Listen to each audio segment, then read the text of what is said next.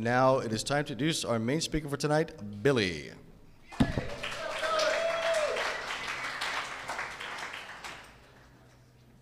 I'm Billy, I'm an alcoholic. Um, probably will mention drugs as well. Uh, my sober date is June 18th, 1995, and to save you doing the math, that gives me just a little over 17 years. And, and I have to say, just tonight, I hear people say uh, time means nothing, but to see a dude take a cake for 51 years, don't tell me that means nothing. Congratulations, that's, that's, it's an honor to see that. And congratulations to everyone else who took a cake. Um, birthdays are a big deal. I was told that it's for the other alcoholic, not for you, um, which makes sense to me. You know, when you're, when you're new and there's new people in the room, if you pick up a 30 day chip, the guy with 15 days needs to know how you did that. So that's why you're taking a 30 day chip. Um, Rodeo Drive. I've lived in LA, um, in case you haven't cottoned on yet, I'm not American. Uh, I'm a transplant from England and I've lived there for 15 years and I've dodged this bullet. I've never spoken at Rodeo Drive. And this meeting has, it's kind of legendary. And if you're confused, why it's called Rodeo Drive, which I would be if I was new and I'd let's go to Rodeo Drive meeting and it's on Hillcrest. What is this, Hillcrest? Hilgard. You know, why is it called Rodeo Drive? This meeting used to be on Rodeo Drive. And before I actually moved there, I was working here. and, uh, you know, any, I've been to meetings everywhere in the world. And uh, if you mention Rodeo Drive, people will go, oh, yeah, yeah, I know that. You know, I've heard of that. So when I came here the very first time to Los Angeles, I thought, well, I'll go to this Rodeo Drive meeting. Now, you know, the phrase, we are not a glum lot, doesn't apply to English people. Um, meetings in London are not this, okay? Especially not 17 years ago. So when I came here, this meeting was on Rodeo Drive, which you know is fabulous, and it's all Chanel and Gucci and all that shit. And uh, and then I walk into this room, and there's 500 people in there. There's a guy playing the piano. Okay, we don't. I mean, it was a commitment. It was an official AA commitment. When he played Happy Birthday, it was all flourishy and fabulous, you know. And and I'd never seen this microphone at an AA meeting. And I'm sitting in there going, fuck you know, this is incredible. This is like, this is not London. You know, we're all miserable and have got bad teeth and it's raining. Um, so I liked LAAA from the get go. Um, but the Rodeo Drive meeting has this thing.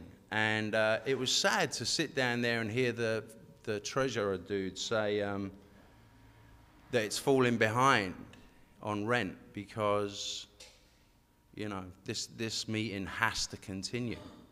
Just has to continue. So, yeah, that was, that was a little downer when I heard that. Um, but anyway, here I am speaking at Rodeo Drive. Uh, I identify as an alcoholic. And the reason for that, by the way, any, anything I say is just me. I'm not standing up here because I'm the president of AA or part of the Politburo or whatever it is. I'm just another junkie guy that's done what, kind of done what they told me to do, and I'm still here. Um, so whatever I say is my, my own personal experience, probably throw in an opinion or two, even though I try not to, you know. They're like assholes, we've all got them. Um, and for me, I suffer from the disease of alcoholism. That has nothing to do with alcohol. It's the name that my disease has. And I treated my disease with alcohol and drugs for many years. Um, there are a lot of 12 step fellowships, and you know, I, I qualify for 90% of them. But I choose to come to Alcoholics Anonymous because I want my 12 steps uncut. You know, like, like my drugs. I like my drugs pure and uncut, and I want my 12 step program pure and uncut. This is, in Alcoholics Anonymous, you hear the shit that Bill and Bob devised. That's what I need. Um, so I identify as an alcoholic, but, um, you know, I, I, I, was a heroin addict, that's it. And, uh, and I want to clarify something else before we go down this road is that you don't have to have taken heroin. It doesn't matter what your drug of choice is, it matters how you feel. Um, when, I, when I was a kid, I never felt like I belonged on this planet.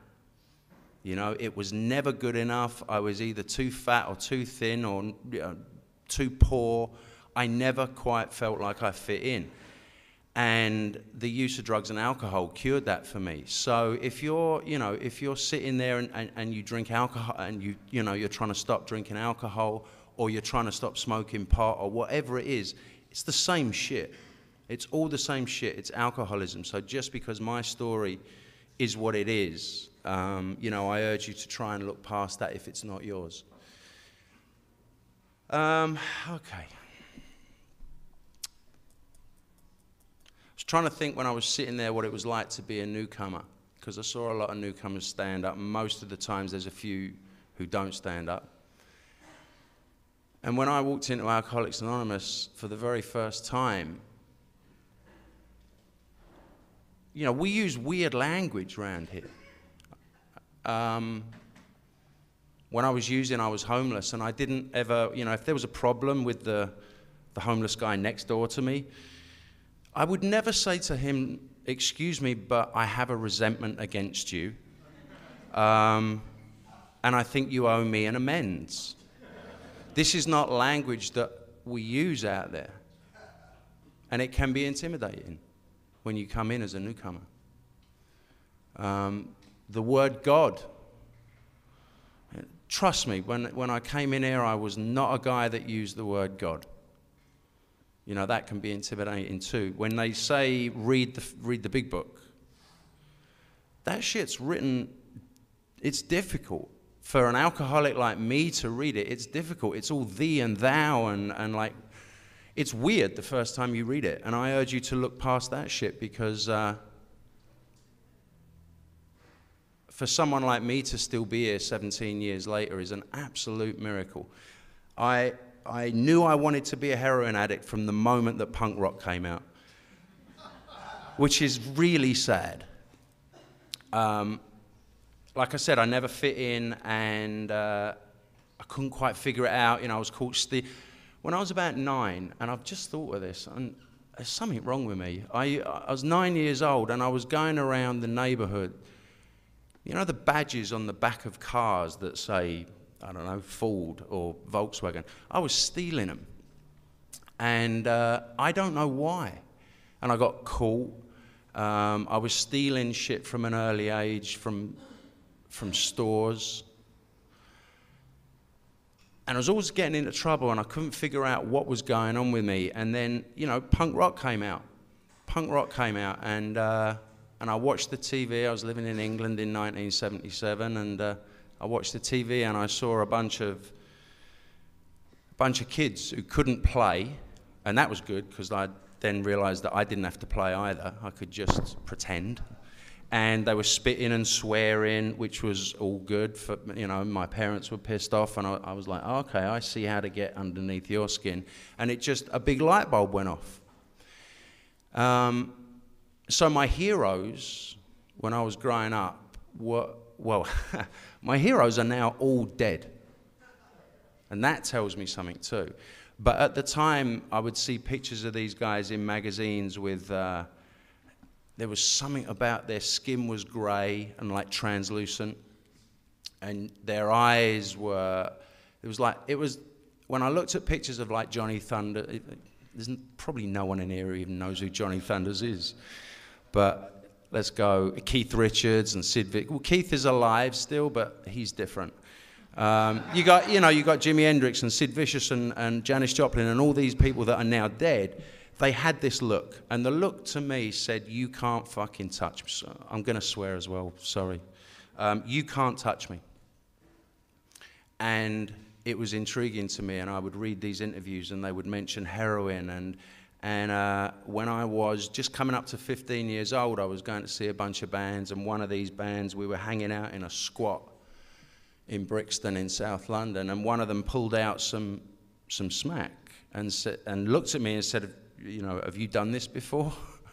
and I went, "Yeah, yeah, I've done this before. Yeah, yeah, all the time." You know, like 15-year-old kid, and uh, yeah, he shot me up. That was the first drug I ever took.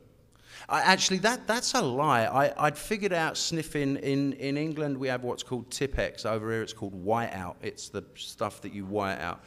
And it comes with a bottle of thinners, which is basically, I don't know, like alcohol or something. But if you poured it on your tie in school and sniffed it, you'd get high. So I guess that was the first drug that I took. But I was just waiting for someone to offer me some, some heroin, and they did, and I loved it. And from that day, I just ran with it, man. It's what I was looking for.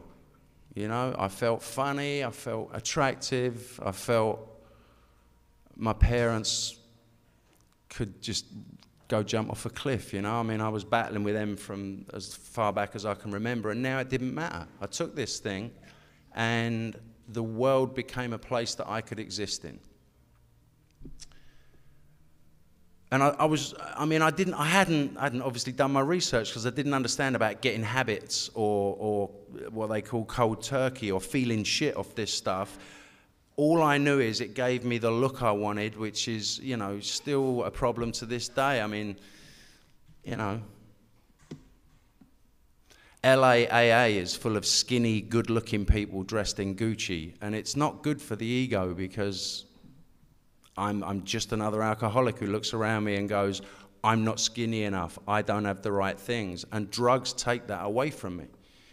You know, but so does shopping, so does sex, you know, so does anything in abundance. Takes that feeling away from me.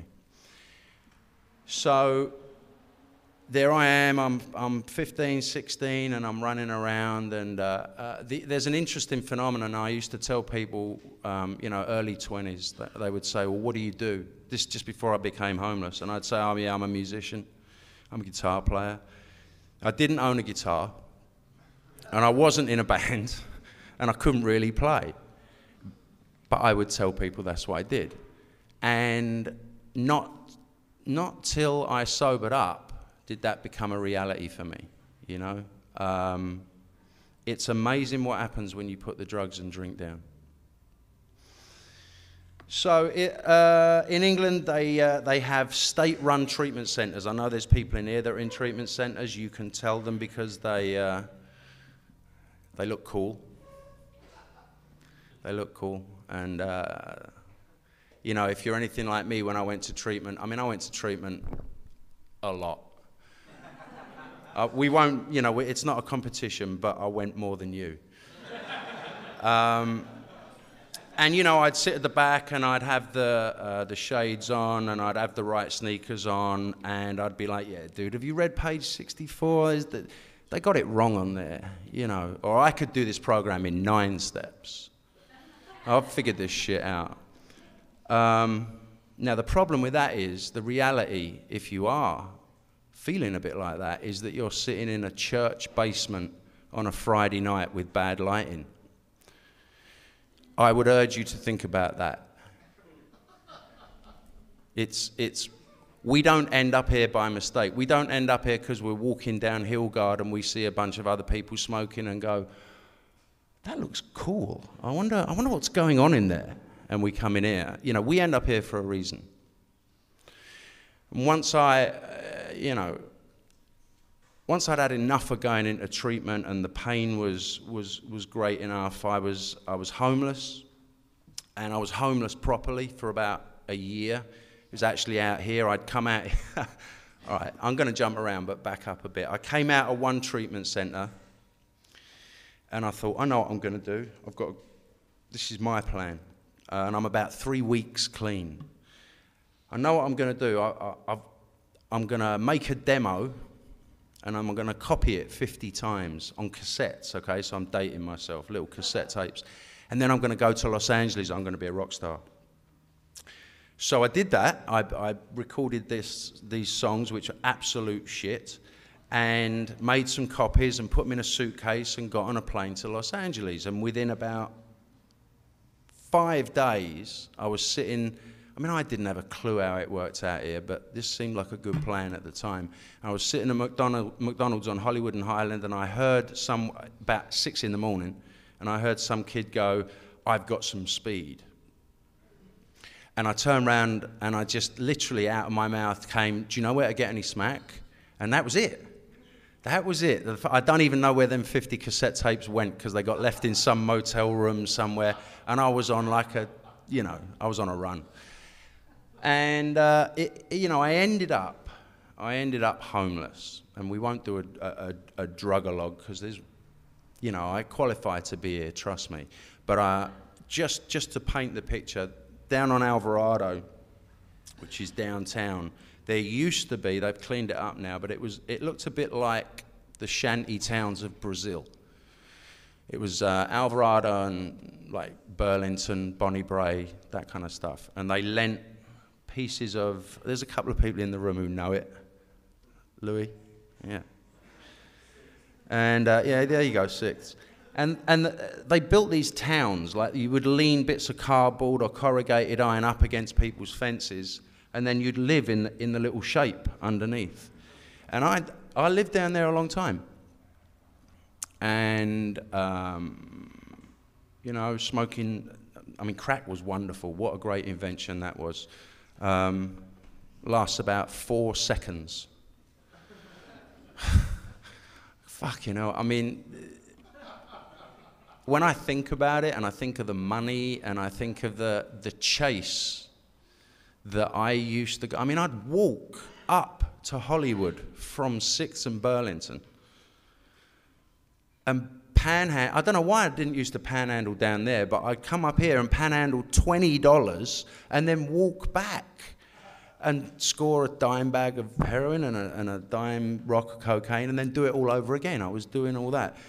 And, um, you know, this, this, this ended up with me very close to death. I didn't weigh very much, which I thought was attractive but wasn't. And uh, I was going to die. I wasn't, I wasn't going to die in the way that I hope someone comes and picks me up off the floor and loves me. I was just going to die. Uh, couldn't get a vein, you know, all that, all that kind of bloody gruesome stuff that we hear around here. And uh,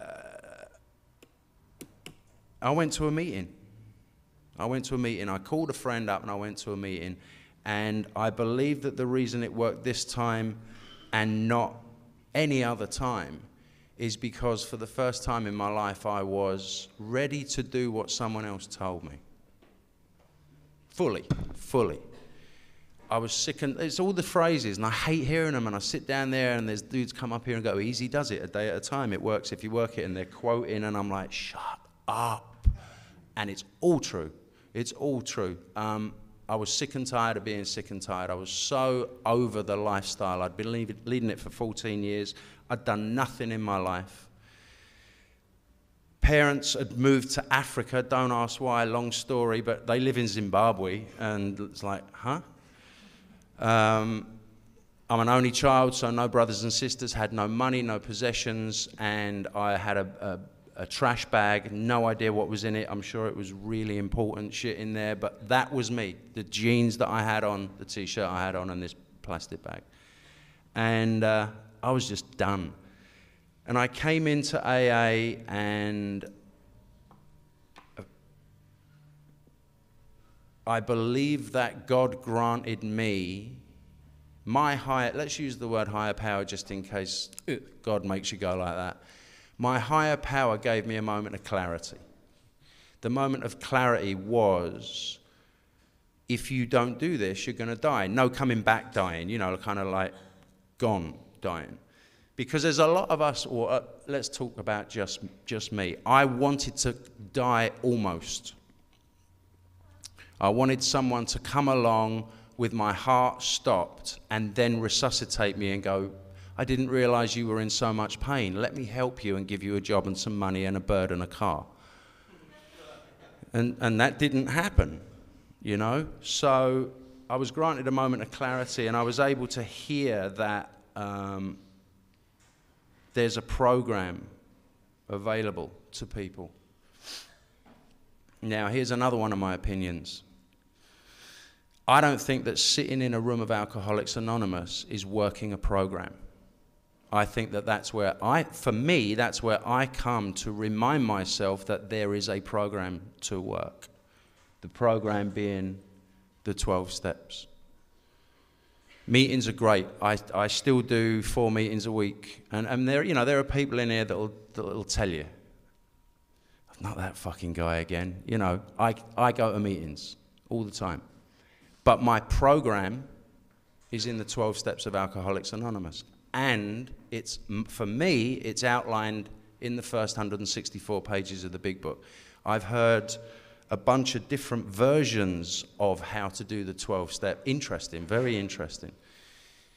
Um, how this thing gets distorted and. Uh, you know, I'll say to a sponsor, I have sponsees, I have a sponsor, and I'll say to a sponsee, Have you done the steps before? And they'll say, Yeah. And I'll say, So what did you do for step four? And it'll be, Well, we drove out to Magic Mountain, and then we uh, ate some cat.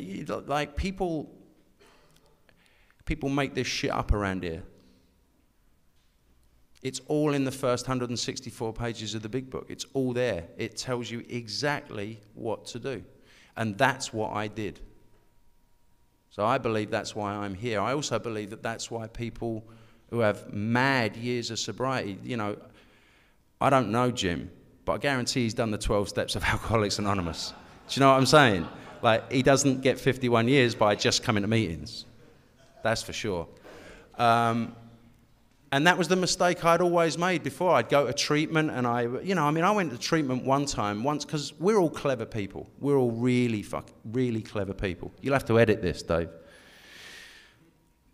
And I went, I thought I was so clever. I went to treatment and uh, I photocopied my step four from my last treatment center. Like most people smuggle drugs. Most people, when they know they're going away for two months, they stick some drugs up. I smuggled a fourth step in because I'm really clever.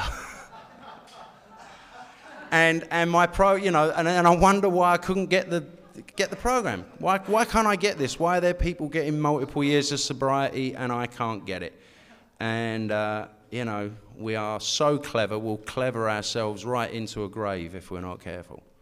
Um, I've had quite a few people in my life um, had to bury him, you know?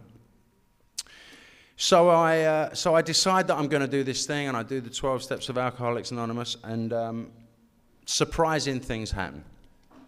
First of all, I haven't had a drink or a drug in 17 years. That's surprising enough as it is. Um, I move to Los Angeles. That's a big deal. Big deal for a junkie like me. Um, I want to tell you, uh, I want to talk about faith someone was asking me, well, how do you have faith? Let me, uh, this is a really important story. I, uh, being English, as we now all understand, there's certain paperwork that you have to do to live here legally. You have to get a green card, and I'm a multiple felon. A lot of us are. And the law here says that if you're a multiple felon, you cannot have a green card under any circumstances. So I get lawyers and we're preparing cases and all this stuff. And then my date comes and it's nine months away. And, uh, you know, if you think about it for a second, nine months is a long time to live with are they going to kick me out? And I made a distinct choice. And people, again, there are people in this room who will tell you that this is true. Instead of stressing about it, I decided to have some faith. And I decided that, look, God hasn't brought me this far to just throw me away again, throw me back into that shithole that's London. And uh, what I did instead is I got a lot of sponsees. I went to a meeting a day, all the time. I got commitments. I um, worked the 12 steps myself. I worked them with sponsees, and I threw myself into AA. And when the date came around, I walked into this little cubicle downtown with some old woman in there that is, has my fate in her hands, and she's got my criminal record in front of her. And she says, uh, The serenity prayer's on the wall. behind her. And she says, Oh, uh, hi there. Um, so, have you ever been in, in, trouble with the law? And it's all in front of her. And, I, and you know, and I, I said, Yeah. Yeah, I said I was young and dumb. And it's been quite a few years since I did that. And they gave me a green card. You know, and my lawyer's jaw dropped. They gave me a green card. And shit happens around here. It really does happen. But you have to have some faith. And faith is not, is not well, I'll do it providing the outcome's going to be okay. You know, faith is it's going to be all right no matter what. And when I apply that in my life, I, it, my life is good. You know, I got married in, in, um, in recovery, which again, for someone like me, is absolutely amazing. Um, I got divorced in recovery, which is not amazing. Uh, but shit happens, and uh, you know, we did it with love and respect, and, uh, and, and we're good. That happened only because we both worked the 12 steps of Alcoholics Anonymous. You know, it was done with love and respect. Um, I have the job of my dreams. And I'm not saying that if you stay sober, you will get all these things, because when I got sober, I didn't know I wanted these things. You know, if I'd have made a list of stuff that I thought I wanted, it wouldn't have been what I've got right now. I'd have, short, I'd have shortchanged myself. Um, I guess if you if you're new around, if you're new around, it's all right if you text him right now. You know, we've got. You know what's great? They've given it a word: attention deficit disorder. It's perfect for alcoholics. We've now all got ADD because when it suits me, and someone said, I mean, I've not been clinically diagnosed with ADD, but if, if I'm doing something wrong, I'm sorry, man, I've got ADD. It's like, we've all, apparently suddenly we're all ADD. It's okay. If you're texting, it's fine. It's, you know, 30 minutes of me talking is a long time when you are new. Probably when you're, you know, 30 odd years sober, but it's okay. It's totally fine. Text them. See what she's doing later. Maybe you'll get laid, you know? Um, Whatever keeps you coming back. Whatever. Surely you're going to give me a five minute warning soon. Six minutes, okay. Whatever keeps you coming back. Um, I love being in Alcoholics Anonymous. It drives me crazy sometimes, you know. Um, it doesn't say in the book that if you put the drink and the drugs down and work the 12 steps of Alcoholics Anonymous, you'll never have a bad day again. It just doesn't say that. But I cannot think of a circumstance in my life that would be made better if I went and smoked some crack right now. I just can't, and I've tried it. You know, I mean, with all those treatment centers, I'd get clean and I'd be, I'd be having a great day and the sun's shining and I've got a bit of money in my pocket. And the thought comes, what would make this better is one pipe just to, just to get me there. And it ends up three months later in jail with abscesses on my arm. That's where I end up.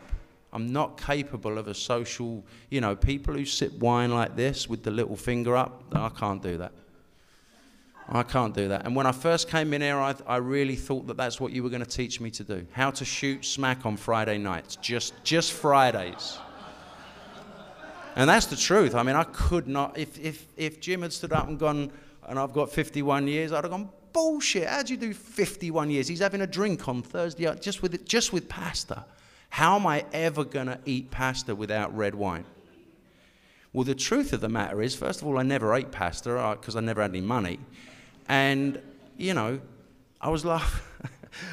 I was, I'll finish with this. I was laughing and um, with a friend of mine. He said, How you doing? I said, You know, there are certain areas of my life that are really not going well right now.